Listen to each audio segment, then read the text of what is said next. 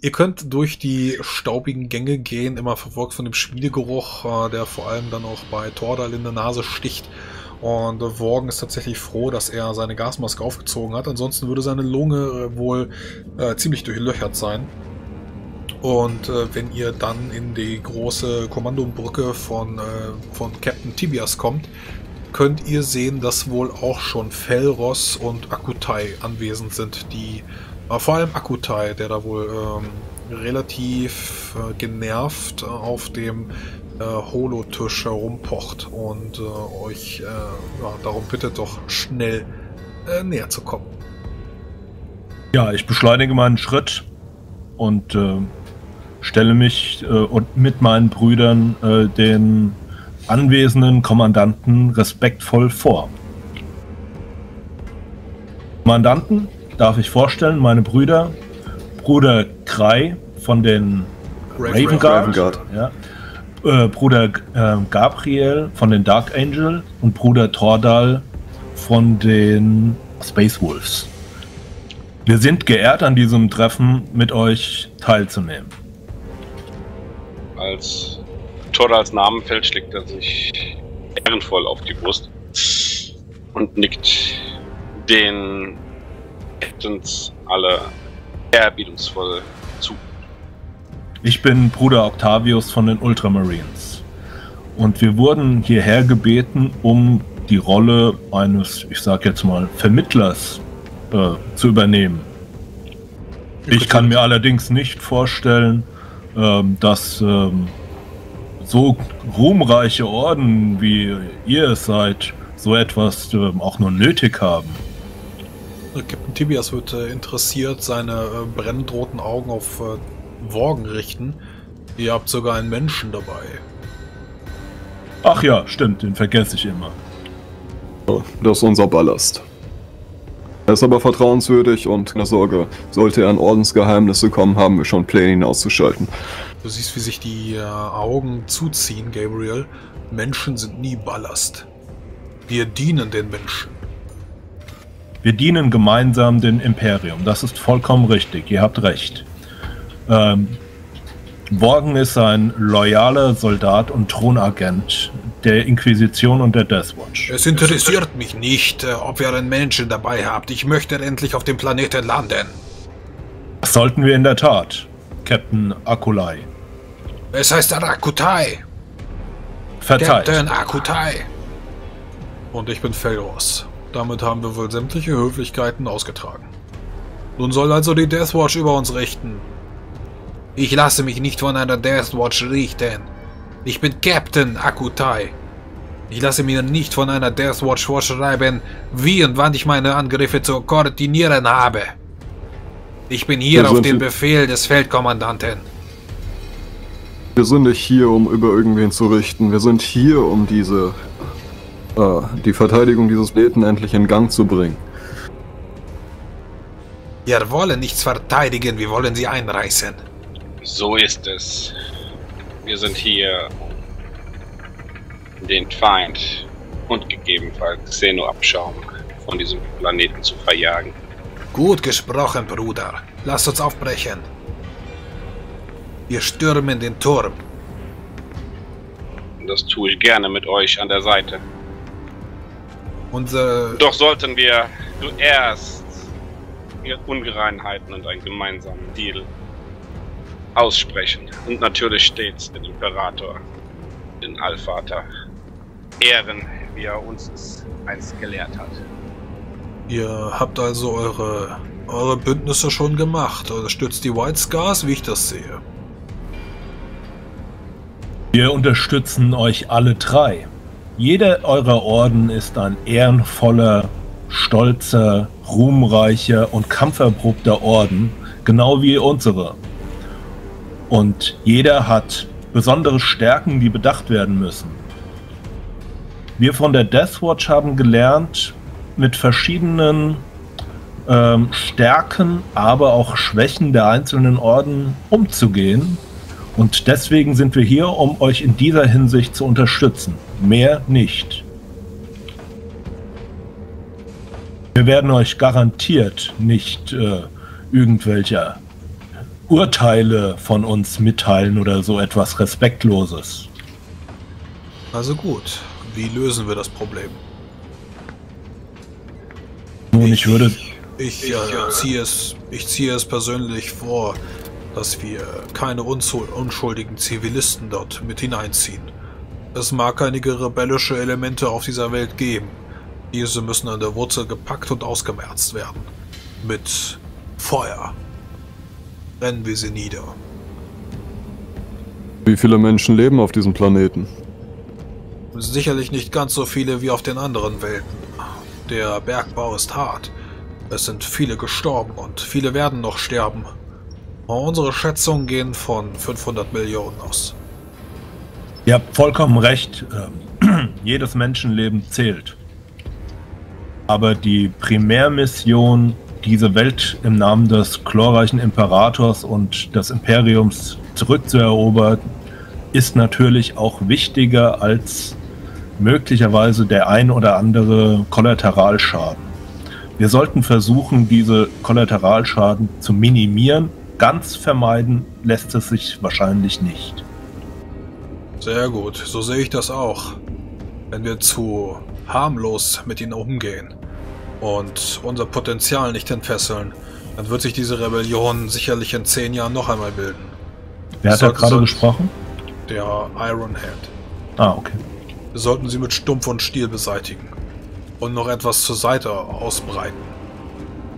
Rebellische Elemente können sich gut ausbreiten. Wir brauchen einen gezielten Schlag. Nun, ähm, wo ist denn eigentlich das Problem? Was, ähm, ihr habt doch alle, ähm, wollt ihr der Rebellion schnell das Knick brechen? Alle drei. Wo ist das, ähm, wo ist der Konflikt? In der Art und Weise, wie wir unsere Ziele erreichen. Uns geht es um den Erstschlag. Wir führen direkt auf die Höllenmark aus und beseitigen diese rebellischen Elemente. Nun, da stimme ich meinem Bruder schon zu. Es geht darum, wo wir den ersten Schlag setzen. Ich denke allerdings, dass die Höllenmark zu sehr verzweigt ist. Wir sollten uns also tatsächlich um den Kopf der Schlange bemühen und den Granitturm stürmen. Wir fliegen mit unseren Thunderhawks an und kämpfen uns bis nach oben vor. Wir brauchen die Krone des äh, Granitfürsten. Damit können wir die Rebellion ersticken. Ich schau mal betont äh, Captain Tibias an, was er dazu meint. Der scheint zu nicken. Nun, ich denke, wir sollten uns auf beide Sachen konzentrieren. Den Granitturm und die Höllenmark. Beides gleichzeitig. Nun, ich würde sagen, dann habt ihr eure Antwort. Ähm, Kommandant Felros und Captain Akulai ähm, greifen ihre jeweiligen genannten Ziele an. Und Captain Tibias, der die größte Truppenkontingent äh, ähm, befehligt, teilt seine Gruppen, um den Angriff der beiden anderen ähm, zu unterstützen. Darin liegt keine Ehre. In Zusammenarbeit? Warum soll da keine Ehre liegen? Natürlich. Wir werden diesen Sieg für uns beanspruchen. Wir lassen ihn uns nicht von den Salamanders rauben. Ich habe hier die meisten Männer. Ich, Ich habe glaube- die Panzer. Wir kämpfen alle für den Imperator. Warum sollte das kein ehrenvoller Sieg sein, wenn man mit seinen eigenen Brüdern eine Schlacht gewinnt? In Zusammenarbeit liegt viel mehr Ehre als in Konkurrenzkampf zwischen Astartes. So etwas ist ähm, Kinderkram, würde ich fast sagen. Verzeiht meine beleidigenden Worte. Und wenn ich eins gelernt habe in der Zeit bei der Death Watch, ist es genau das. Schlussendlich zählt nur eins, der Sieg für den Imperator. Ihr habt es gehört. Die Death Watch unterstützt meinen Anspruch auf Führung. Wir werden es also genauso tun, wie ich es bereits gesagt habe. Ihr, die Iron Hands, werdet den Granitturm angreifen. Wir werden dabei unterstützen. Und die White Scars werden einen Angriff auf die Höllenmark führen. Wobei wir ebenso unterstützen. Das ist genau das, was ich sagte. Ich werde der Anführer dieser Operation sein. Dem würde ich theoretisch zustimmen, wenn ihr euch auf die strategischen Oberbefehl begrenzt und den taktischen Einsatz den jeweiligen Kommandanten überlasst. Ich werde mich nicht von den Salamanders kommandieren lassen. Die sind zu langsam. Deswegen mein Vorschlag, die, den taktischen Befehl bei den jeweiligen Kommandanten zu belassen. Äh, Hauptsache, es geht gleich los. Ich bin ungeduldig. Diese Diskussionen bringen uns nicht weiter. Wir sollten ausrücken. Ungeduld bringt uns hier nicht weiter. Ein Space Marine wird den Feind zu seinen Bedingungen und der zu ihm gewählten Zeit im Kampf stellen und niemals unvorbereitet in die Aufgabe, für die Aufgabe sein. Felros ähm, spannt einmal seinen eisernen Arm auf und macht ihn dann wieder zu. Wie gehen wir mit der Kultur um? Relas ist bereits gefallen. Sie werden wieder fallen. Menschen sind schwach. Wir sollten sie nicht den Tau überlassen. Der Planet einen längerfristigen strategischen Nutzen für uns. Nun, dieser Planet liegt viel zu nah an dem eisernen Kragen. Damit ist da eine Gefahr, sollten rebellische Elemente weiter hier existieren. Wir müssen einen solchen Schlag führen, dass es nie wieder eine Rebellion hier einschlägt. Es Keiner dieser Rebellen jemals wieder auch nur auf die Idee kommt, dem Tau zu folgen. Es wäre sinnvoll herauszufinden, auf welche Art die Tau hier Einfluss genommen haben, um diese Art dann zu unterbinden. Ich denke, damit könnten wir einen Teil der Bevölkerung verschonen. Ganz meine Rede. Sehr gut, Cry. Das sieht nach einer Aufgabe für uns aus, meine Brüder.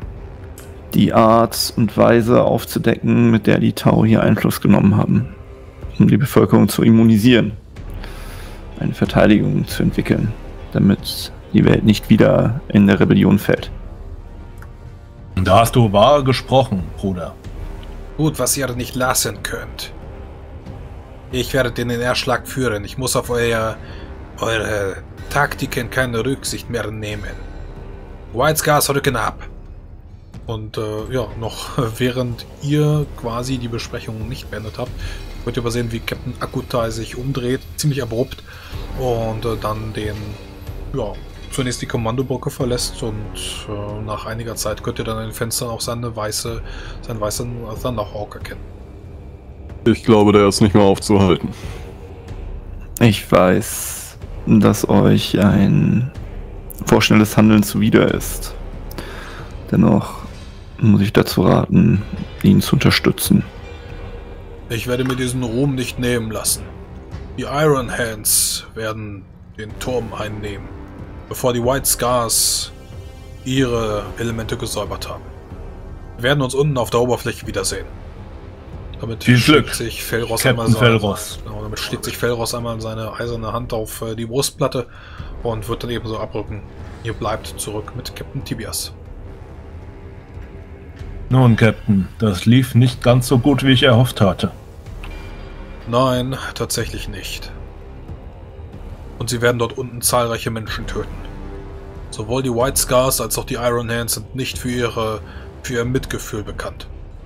Umso wichtiger ist es, dass ihr schnell eure Truppen entsendet, um ihnen zu helfen und ihnen auch die wahren Gegner zeigt. Aber wir müssen das diplomatischer tun, als das äh, bis jetzt der Fall war. Zu viel Stolz in dieser Situation könnte eine Katastrophe für uns alle bedeuten. Das denke ich auch. Ihr sagtet, dass ihr mit den Elementen der Rebellion in Kontakt treten werdet? Diplomatie? Findet heraus, wo die Tau sind. Sprecht mit ihnen, bevor sie umgebracht werden. Nun, wir können es gerne versuchen, obwohl mir ähm, Ketzer und Verräter selbstverständlich ein Gräuel sind. Es kam doch nicht wirklich äh, gerade der Vorschlag, ich muss das missverstanden haben, uns mit Norwesen auseinanderzusetzen, mit ihnen Diplomatie zu betreiben. Ihr sollt mit den äh, rebellischen Elementen sprechen. Wo die Tau sind. Wie sie hierher gekommen sind. Und danach sollt ihr die Tau vernichten. Ihr seid doch Xenos-Jäger. Auf jeden Fall. Es wird mir ein Spaß sein, sie zu jagen. Bitte euch nur, schließt euch nicht diesem Massaker an und lasst die Menschen dort unten leben, wenn sie beeinflusst worden sind. Damit sie Nun. wieder beeinflusst werden können. Und wir müssen halt selbstverständlich äh, den Widerstand brechen, aber wir werden Gnade walten lassen. Das Wir haben der-. Wir haben derartige Missionsziele bereits hinter uns. Wir wissen, wie wir zu agieren haben.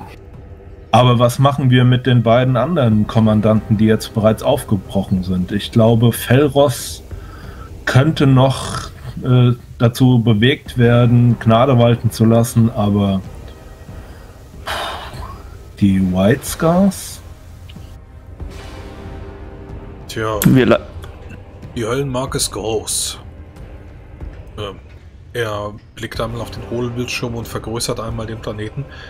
Dies hier ist die Höllenmark. Ähm, ein Konglomerat aus schwimmenden Städten, die sich äh, mittlerweile zusammengebunden haben.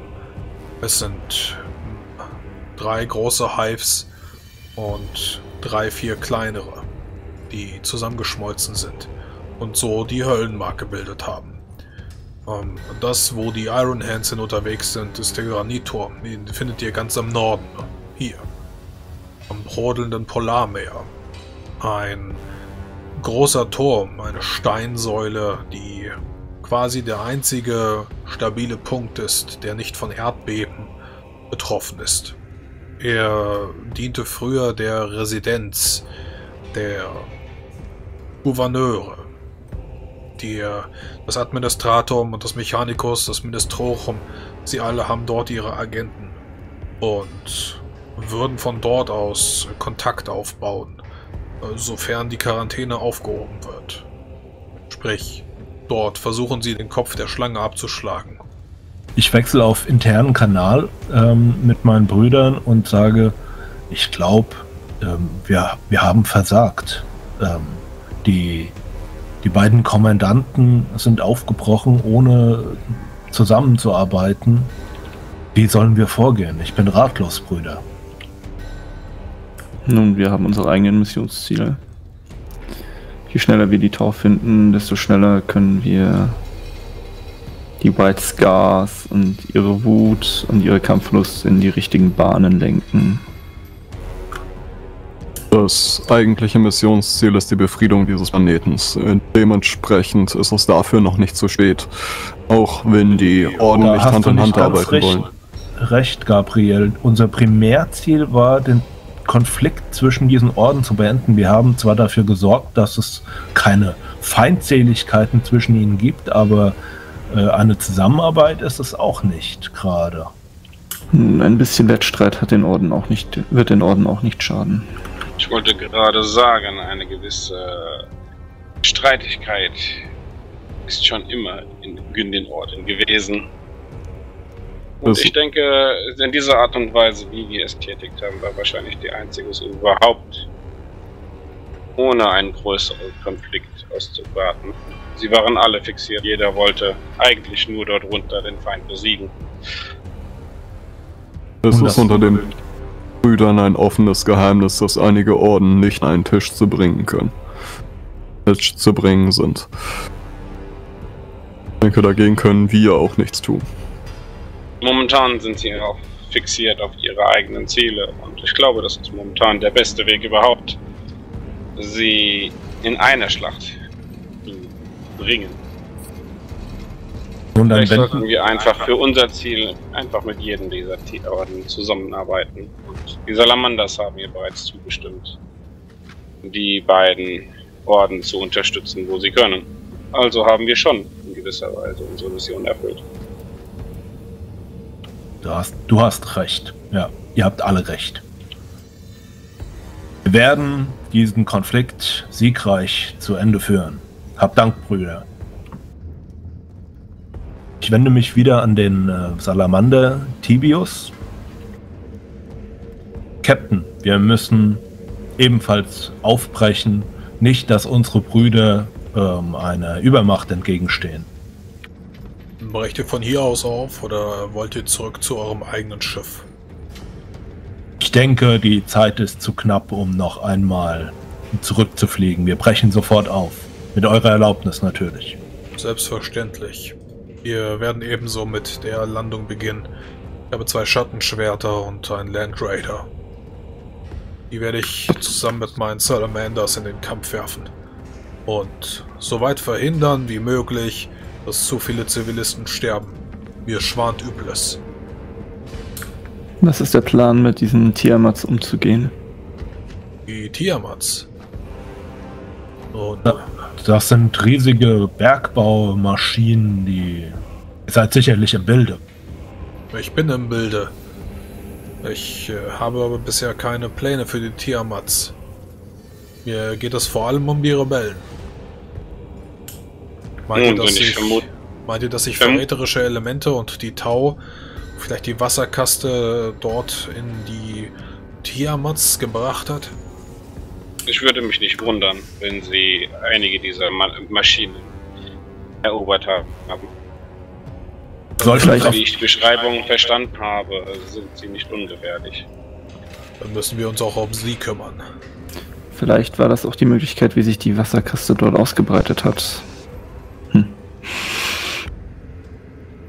Ich äh, bin kein Xenos-Jäger so wie ihr. Die Salamanders kämpfen vor allem gegen Elder. Aber nun, wenn ihr als Xenos-Jäger Spezialisten seid, kann es natürlich auch sein, dass sich die Wasserkaste über diese Tiamats ausgebreitet hat und ihre falschen Versprechungen den Menschen dort gegeben haben. Keine Gnade gegenüber den Tau.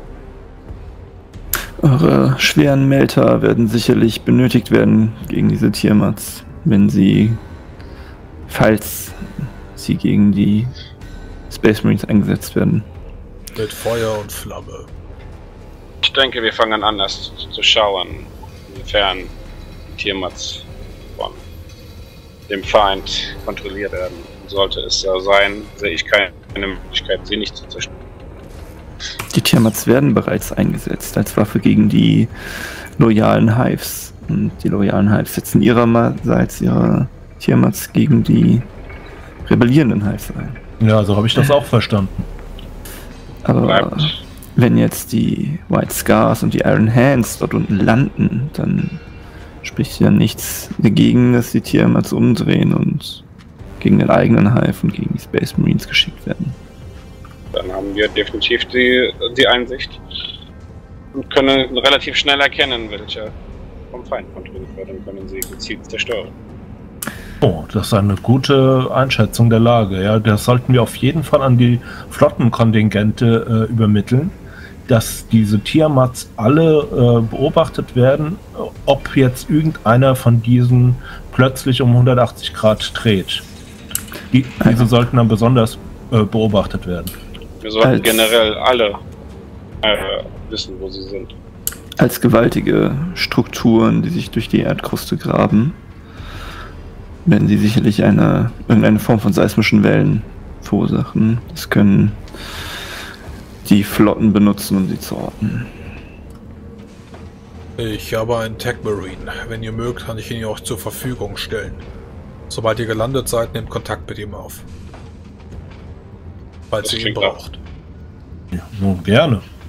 Das klingt nach einem hervorragenden Plan.